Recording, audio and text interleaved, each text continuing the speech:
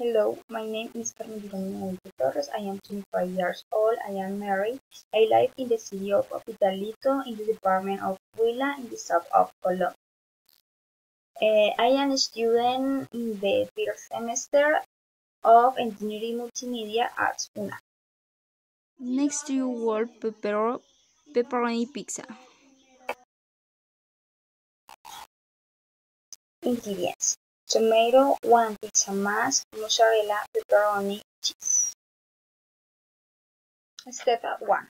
First on the mask, we spread a layer of tomato paste with the help of a knife.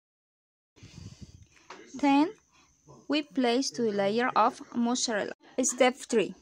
Later, we cut 20 slices of pepperoni and uniformly. Step 5. We bake 14 to 15 minutes, 100 degrees. Ready, let's enjoy delicious pizza.